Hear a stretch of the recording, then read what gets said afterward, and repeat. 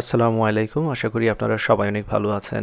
এই ভিডিওতে আমি আমার পুরাতন গাড়ি যেটা পজো থ্রি থাউজেন্ড এইট দুই হাজার পনেরো সালের গাড়ি, সেটা সম্পর্কে কুইক একটা রিভিউ দেব এবং সেই সাথে আমার নতুন গাড়ি যেটা কিনেছি, সেটারও একটু বর্ণনা দেওয়ার চেষ্টা করব। তো দেখতে পাচ্ছেন পজো থ্রি থাউজেন্ড এইট দেখতে অনেক সুন্দর ডেফিনেটলি আমার অনেক পছন্দের একটা গাড়ি।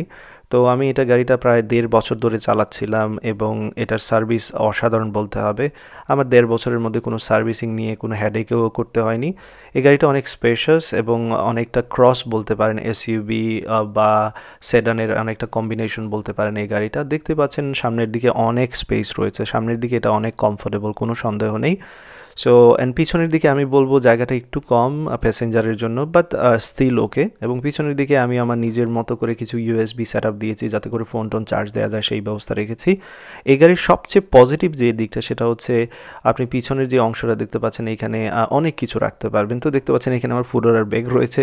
যাই হোক, আমি আসলে ফুড ডেলিভারি মাঝে মধ্যে করে থাকি জাস্ট কন্ট্রাক্টটা কন্টিনিউ রাখার জন্য। ইউ নেবার নো কখন কোন জব করতে হয়, বলা যায় না, তাই কন্ট্রাক্ট রেখে দিয়েছি। তো এটার পিছনে আসলে অনেক জায়গা রয়েছে, আমি বলব। সাধারণত নর্মাল গাড়িতে এত স্পেস দেখা যায় না। তারপর ড্রাইভিংয়ের দিকে যেটা বলব ড্রাইভিং অনেক কমফোর্টেবল এটা আমি রেকমেন্ড করব হাইলি যদি কেউ ইকোনমিক্যাল বা ফ্যামিলি কারের চিন্তা করেন। এই গাড়িতে আমার বাচ্চার অনেক স্মৃতি রয়েছে, আমার মেয়ের অনেক স্মৃতি রয়েছে। এই গাড়িতে এসে অনেক কমফোর্টেবল ফিল করতে এবং অনেক মজা নিত এবং এইখানে দেখতে পাচ্ছেন অনেক স্পেস রয়েছে, আপনারা চাইলে এখানে অনেক কিছু রাখতে পারবেন। এইবার চলে এসেছি শোরুমে আমি নতুন একটা গাড়ি নেব। অবশ্যই নতুন বলা যাবে না সেকেন্ড হ্যান্ড বাট অনেক নতুন ডেফিনেটলি এরকম কন্ডিশনের গাড়ি। আমি এখানে দেখেছিলাম আসলে বেশ কয়েকটা গাড়ি বিএমডাব্লিউ গাড়ি দেখেছিলাম এখানে আউডি এর গাড়ি দেখেছিলাম জাগুয়ার দেখেছিলাম দেন মার্সিডিজ দেখেছি। সর্বশেষে আসলে আমি স্টিক হয়েছি মার্সিডিজ নিয়ে, কারণ মার্সিডিজের ড্রাইভিং তো অনেক কম ছিল, এটা একশো উনত্রিশ হাজার ড্রাইভ করা হয়েছে সোফার এবং অ্যাফোর্ডেবল ছিল।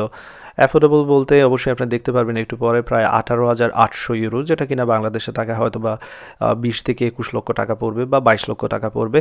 বাট বাংলাদেশে গেলে এক্স্যাক্টলি সেম কার হয়তো বা চল্লিশ থেকে পঁয়তাল্লিশ লক্ষ টাকা হয়ে যাবে, আমার যতদূর ধারণা।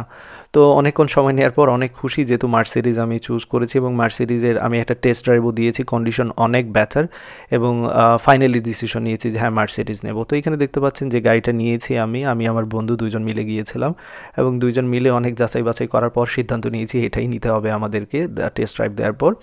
তো গাড়ির ইন্টেরিয়র যদি বলি, অসাধারণ বলার কোনো বাসা আমার নেই, যেহেতু এটা আমার প্রথম এত হাই লেভেলের আপগ্রেড সো আমি ইন্টেরিয়র নিয়ে অনেক হ্যাপি আগের চেয়ে এটা অনেক বেটার স্পেশালি সিটগুলো অসাধারণ। সিটগুলোর যে অ্যাডজাস্টমেন্ট সেটা অসাধারণ বলতেই হবে। এবং বাইরের দিকে লুকটাও অনেক বেটার সব মিলে এই গাড়িটা অস্থির। আমি যেহেতু টেস্ট ড্রাইভ দিয়েছি এবং অনেক কমফোর্টেবল ফিল করেছি, সব মিলে আমি বললাম, না, এটা নিয়ে থাকতে হবে। বাট দেখা যাক, আমি এটা নিয়ে বিস্তারিত রিভিউ দেবো যখন সময় পাবো। আমার জন্য দোয়া রাখবেন। আসসালামু আলাইকুম।